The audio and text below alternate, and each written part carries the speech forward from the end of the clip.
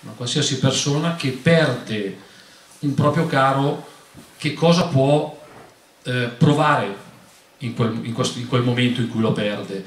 Eh, ognuno di noi ha avuto magari la perdita di un proprio caro per morte naturale. Provate a pensare come si potevano sentire queste persone, queste, questi, eh, queste famiglie per, dopo aver perso per morte violenta, per morte tragica, eh, quale eh, profondo disagio, quale eh, distruzione vera e propria eh, all'interno della propria anima possono aver avuto queste persone.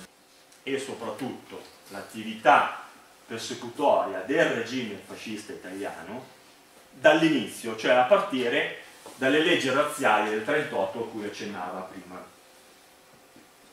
Roberti. Ehm, per cui eh, parto da lì.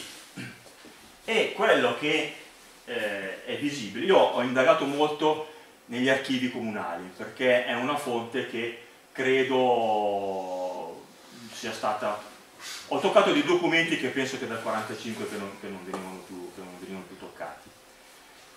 E eh, per l'emanazione delle leggi razziali qualche mese prima il, eh, il regime ha chiesto ai singoli amministratori dei comuni di fare un censimento eh, sulla popolazione ebraica presente nel loro paese, fornendogli di un modulo. E questi moduli li ho trovati tutti praticamente.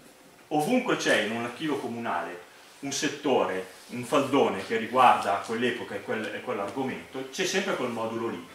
Quindi mi ha permesso, insieme, integrandolo con, con altre fonti, di ricostruire un po' chi erano, quanti ce n'erano in Brianza. E